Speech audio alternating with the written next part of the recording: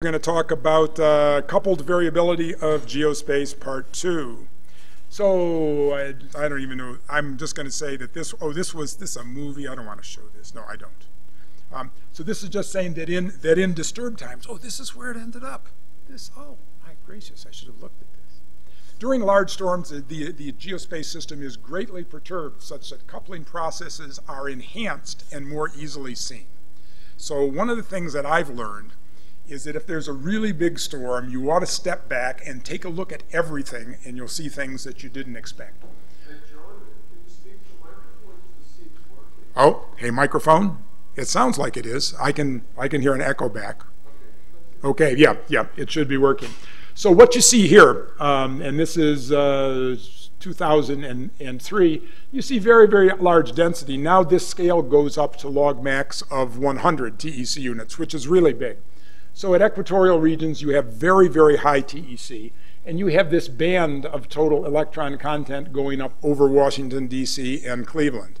So this is a um, what we call a storm-enhanced density plume, and it is the it is the signature of the redistribution of plasmaspheric and ionospheric material from low and middle latitudes to the very highest latitudes and throughout the magnetosphere. And so, so what I'm going to say now is disturbed conditions and some of these techniques let you actually visualize some of the flow paths that you're looking at. So my very first graduate student publication was the statistical study of isolated substorms and their relationship to the solar wind.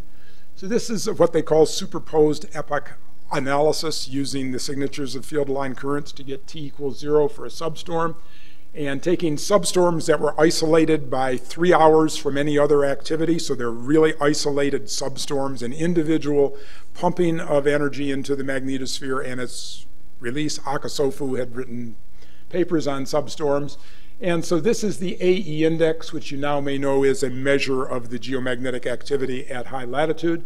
So this is the superposition of these 54, and this is the Z component of the interplanetary magnetic field. And so this is one of the first papers that demonstrated the BZ relationship to substorms. Yes, sir. Okay, so this is ours. So this is T equals zero. This is two hours.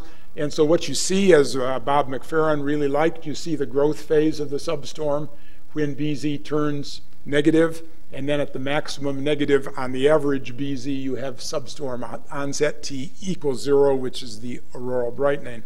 And it's all driven by the Dungey cycle that Bill Lotko talked about, the solar wind impacting the magnetosphere, merging on the day side when the southward component of the field is anti-directed to the northward directed dayside component of the field. The fields interconnect, pumping magnetic energy into the magnetotail. Reconnection, T equals zero, then takes place.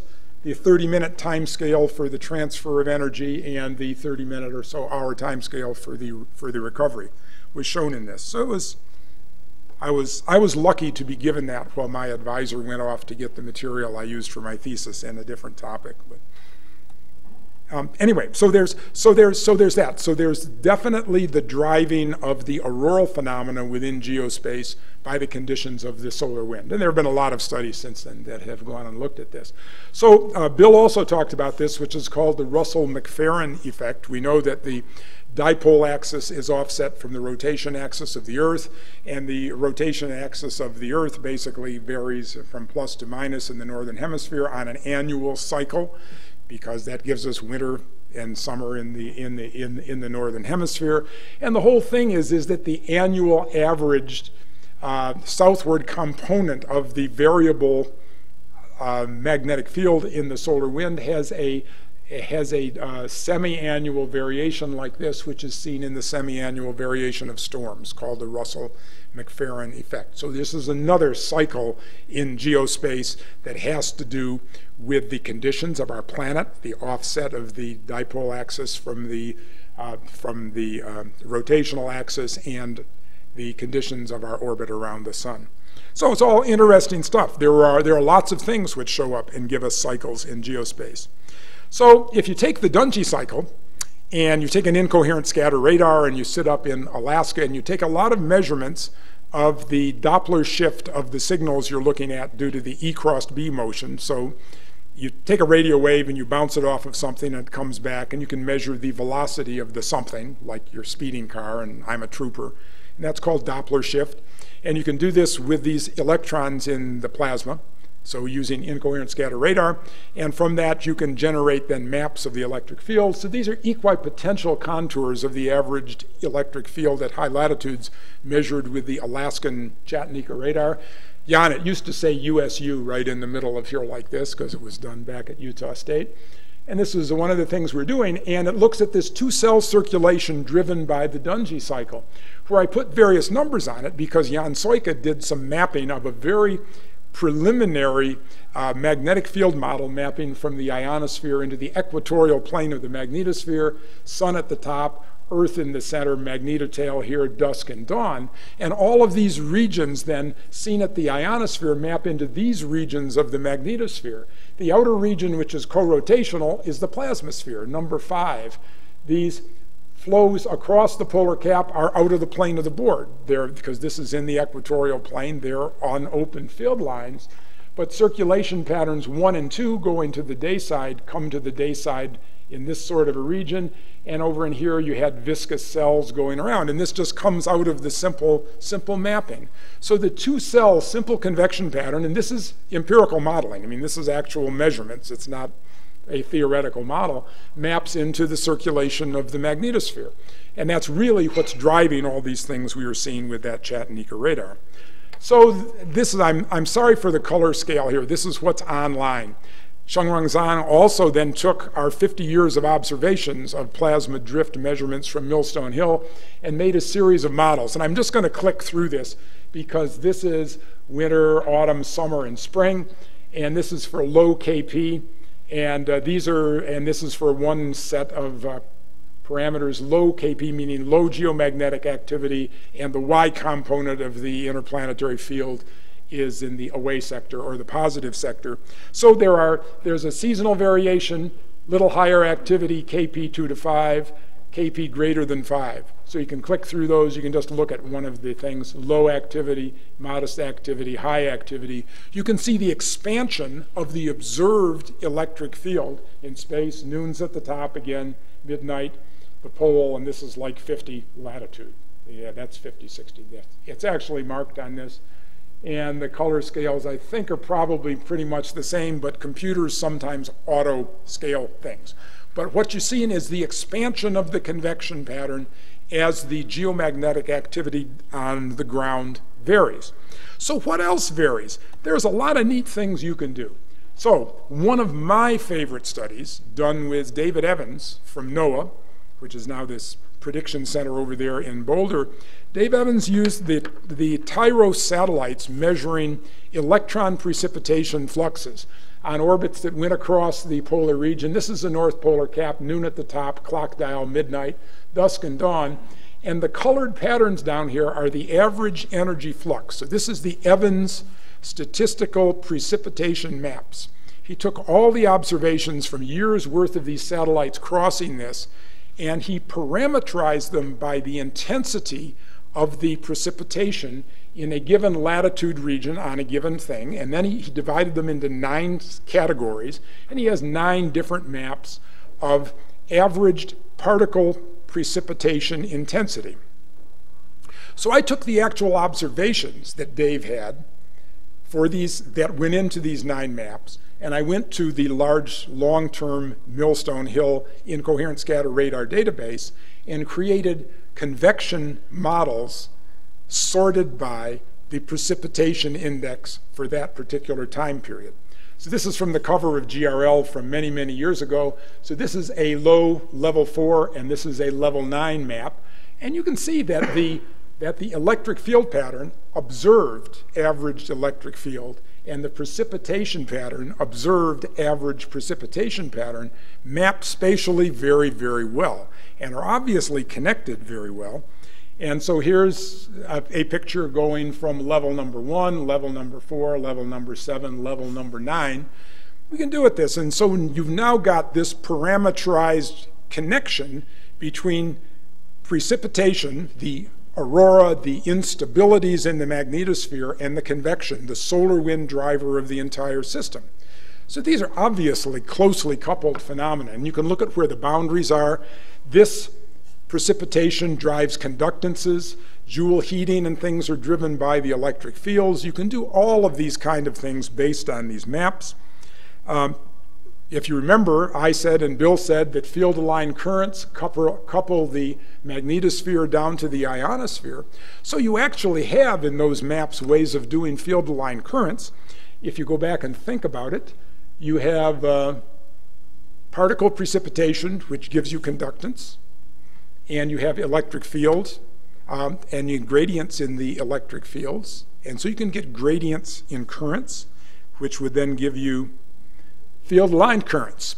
And so these are empirical maps of field line currents derived from the Evans statistical precipitation index maps and uh, ours um, electric field maps keyed to those precipitation indices. So this is like the, I just saw we're celebrating the 50 years of it, of it, of it, it, it, it, Iijima and Potemra, excuse me, uh, of their patterns of field line currents, which were uh, analytic, not statistic. They were basically just showing where the things were. So this is, if you actually just do the calculations from the observations, these are what the field line currents look for. On the dusk side, this is a downward current, this is the region 2 current, this is a region 1 current, and they have different signs on the other side, region 2 and region 1, and you can see the expansion of the current systems. So that's calculating field line currents from the observations of precipitation. Um, and we saw earlier that you can calculate Joule heating from, uh, from the observations of precipitation and um, electric field. And I, I, I thought we had done it for that, but I don't know. There's too many papers, too many papers in the past.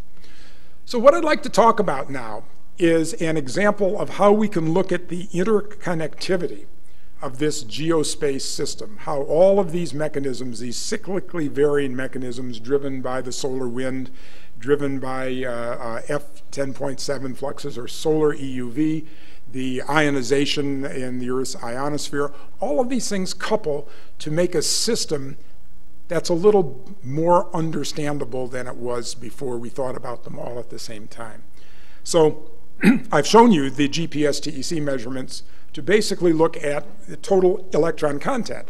And so from our measurements with satellites and from the measurements from the ground, we know that in most, most conditions, 50 to 60% of TEC lies in the area below 1,000 kilometers.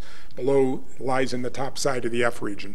Maybe 40% or less comes from the overlying plasmasphere. There are interesting studies that can be done that way. We have satellites now up at 1,000 kilometers that can look at the GPS and independently measure what it is in the topside to look at plasmaspheric TEC. And so there's, you know, there are, there are people doing these things. But with these TEC maps and the way of mapping then from the F region of the ionosphere out into the magnetosphere, we can look at the structures like I showed over the continental US early, earlier on and see what they say, how they map out into the magnetosphere. So there's, there's a number of terms here, and I'm not going to go and talk about the driving mechanisms. The structures are being driven by very, by uh, very repeatable features of the disturbance pattern in the magnetosphere. The ring current that uh, Bill talked about uh, is very effective in this lower latitude region where the ionospheric trough forms. And as a matter of fact, the steepness of the ionospheric trough in the dusk sector that we were talking about and have been asked about is produced by the recombination of the ions due to collisions with neutrals in the presence of a very strong electric field. The electric field makes the ions E cross B drift rapidly through the background neutrals such that when the, when the relative velocity exceeds about a kilometer per second, which it does for an electric field of 50 millivolts per meter, which happens and the electric field is being driven by field line currents coming from the ring current called the subaurora polarization stream electric fields. So we measure all of these things. You see the recombination and the trough gets very, very deep. You're basically recombining, going back to neutrals. You're having collisions. The ions become neutrals again, and there's no ionosphere there. So that's how you get those really steep edges. So we can actually look in GPS TEC for the steep edges and know that it's electric field driven. I mean, we know the process that makes it that steep, and so we can look at one thing and we can infer something else.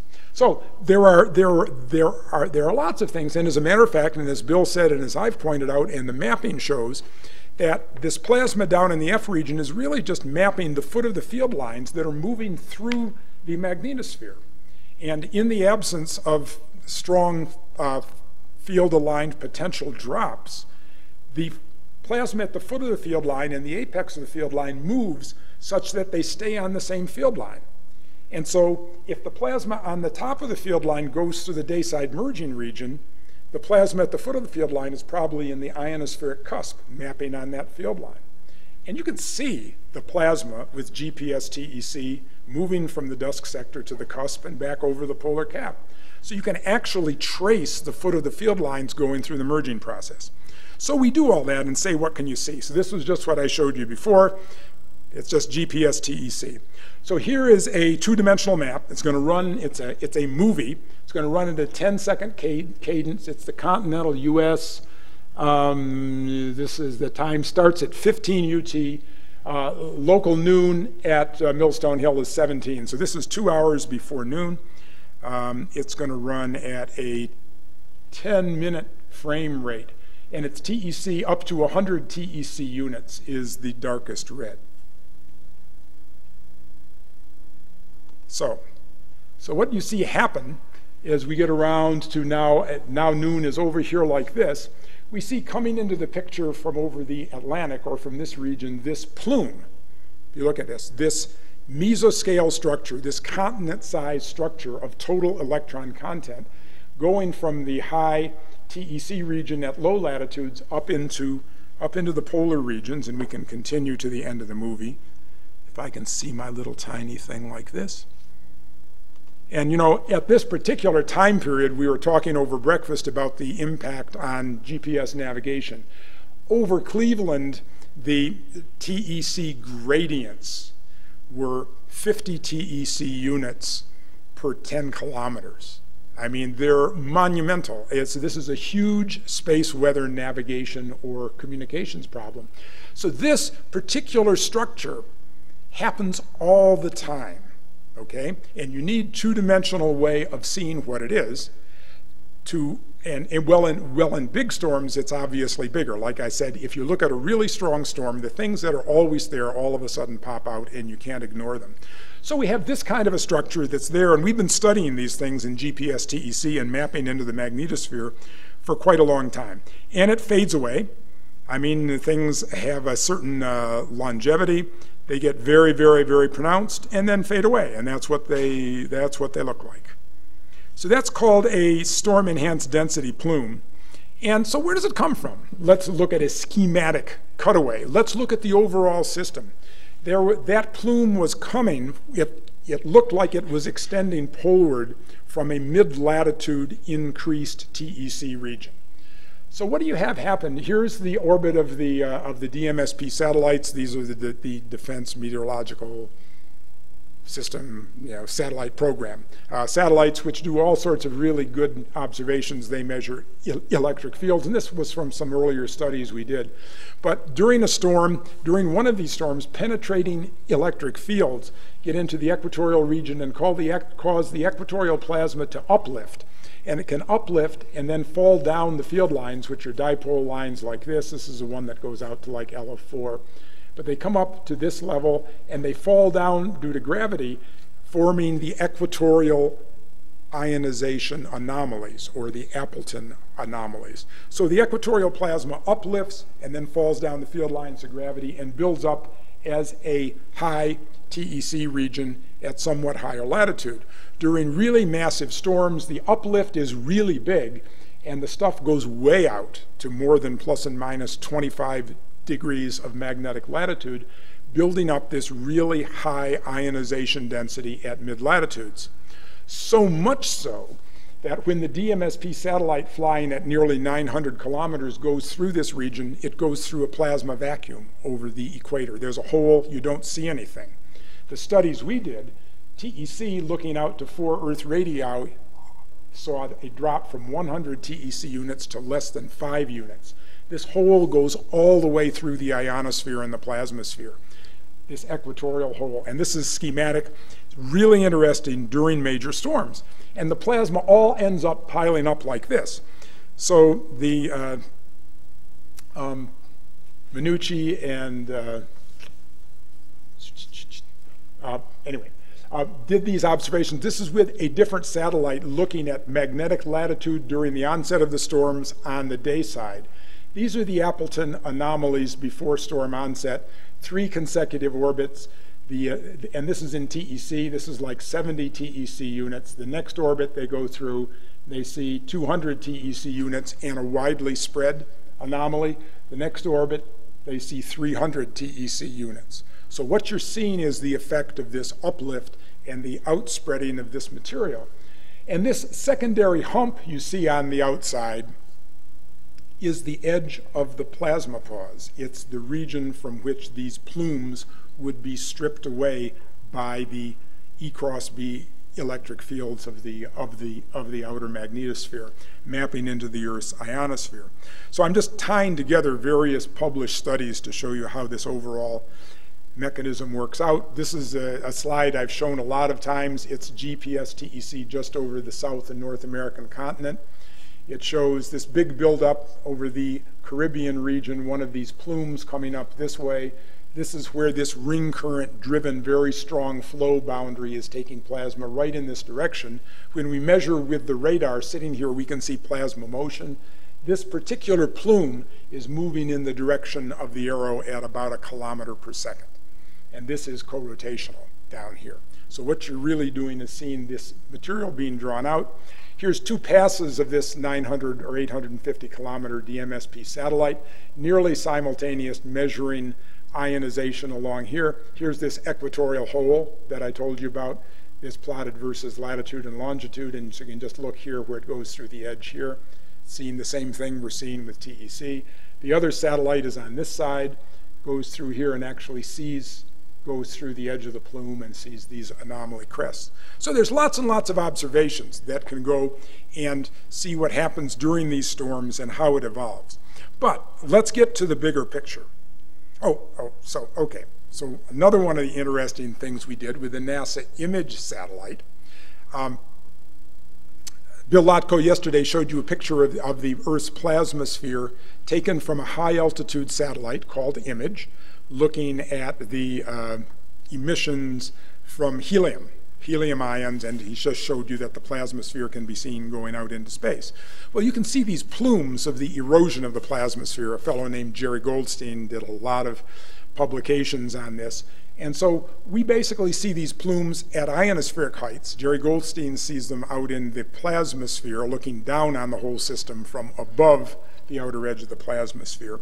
And so the image satellite also had a far ultraviolet and FUV imager, not the EUV imager, that can actually see F region plasma. So, re, so if you remember in this plot, we had this buildup of plasma over the Caribbean in this event. So this is an FUV movie. Um, no, don't do next, do play. This is an FUV movie. This is the solar terminator. This has to be in sunlight. Here's the equatorial anomaly. And what you see is the buildup of this patch of F region ionization. And if I can stop this fast enough, I might be able to. There you go. So what you see, so here's the solar terminator. There's, there's, so this is sensitivity for the instrument. There's no plasma here, no plasma here. You see this isolated buildup of plasma over the Caribbean in this imager during a storm.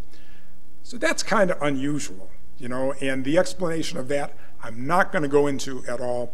No one will ever reference the paper that it's published on uh, in or about because it's too far out an explanation, but it's true. But anyway, but it happens all the all the time. And so so you see this see this buildup, and then you saw the plume going up. So what if you look at a polar movie of the whole thing, and this is maybe the same uh, a different event. And so this is looking down on the North Pole. Here's the US going through midnight. This is TEC. It's for a big storm. uh, November 20th, 2003. You begin to see the buildup as the storm starts of this mid-latitude plasma on the day side. You can see it going up, and you can then begin to see, as North America comes back around into here, the plasma going back across, here's the auroral region back across polar latitudes. In this tongue of ionization, here's the plume that we showed earlier. And so this is now the polar view So this is the feature that I showed you in that map over, this is the continental US. We showed you the buildup of this. It actually goes up and extends back across the polar cap. So with this TEC mapping method, you can see the circulation of the plasma and also of the foot of the magnetic field lines. All right, so enough, enough for the movies.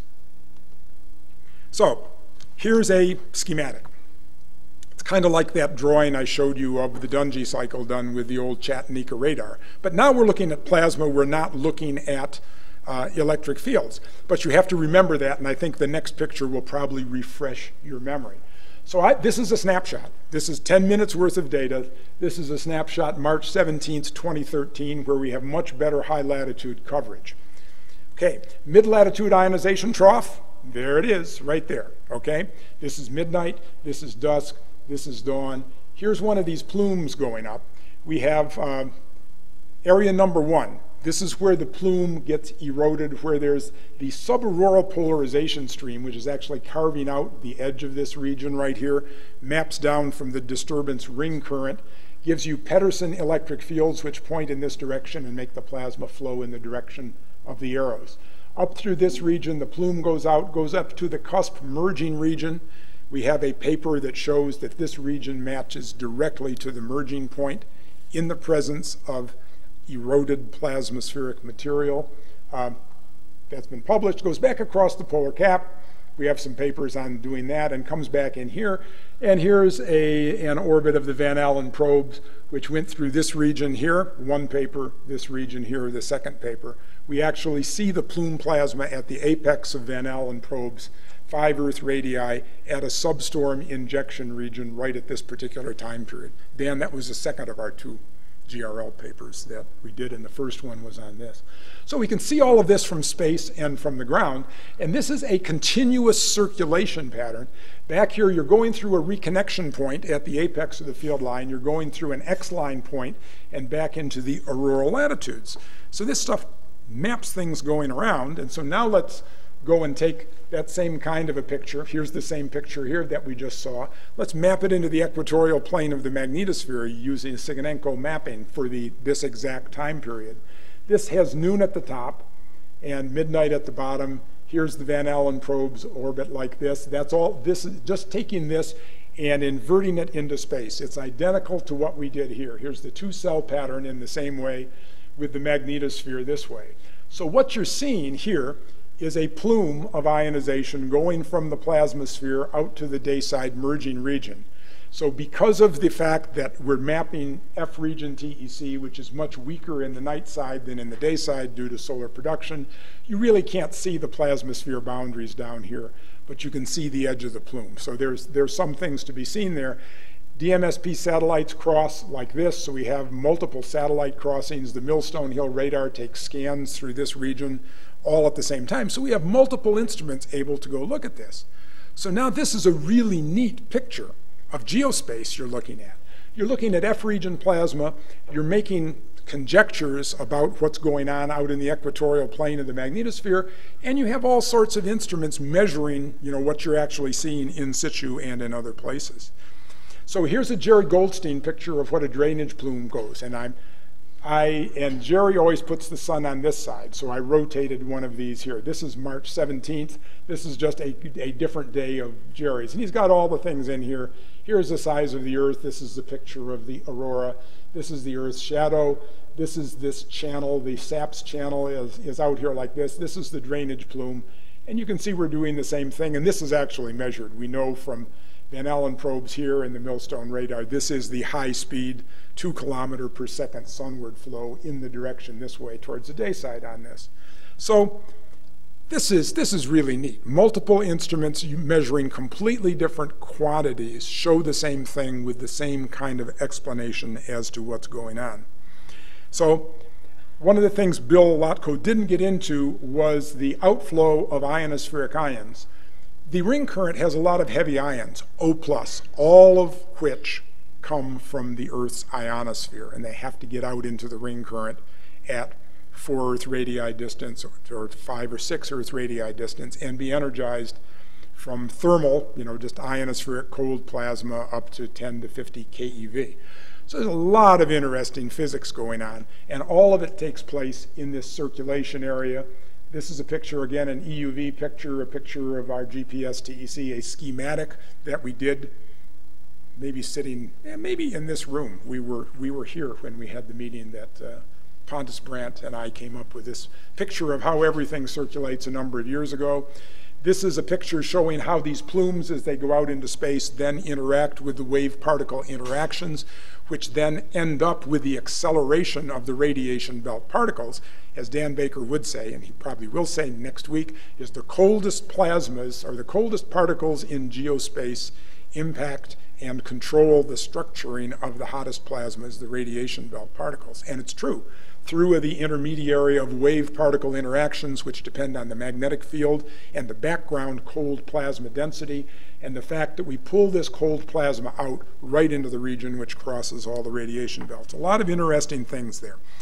Um, we did a paper, um, Brian Walsh, who's going to Boston University, who I'm proud to say was my youngest son's best friend growing up, an Eagle Scout in my Boy Scout troop and a close personal friend of mine for years. The first paper we published jointly was in Science, where we took measurements in this position right here with the Themis satellites of plume plasma and, uh, and merging taking place, and measurements down at the surface uh, using GPS TEC and radar and showing a one-to-one -one matchup of all of this. And this is Joe Borovsky's comment in Science, the paper on that, as to what the significance of, of this is we're basically showing that the erosion of the cold plasma in the plasmasphere, and this has been suspected for a long time, but it's tough to get the kind of measurements that actually show it. The cold plasma from the plasmasphere gets out and can impact the merging region.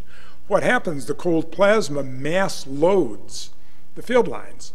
And that means in the same way like with a plucked string, you know, if you mass load the string, all of its characteristics change and the merging rates change when you put 100 times more particles on those field lines. They may be hydrogen particles, but it's still a large mass loading. So that's all kind of interesting things. The, um,